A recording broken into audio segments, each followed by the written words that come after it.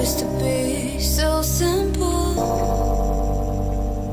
Haven't got a clue to why the world is filled with lies. But then again, we're sinful. Cause we keep the truth to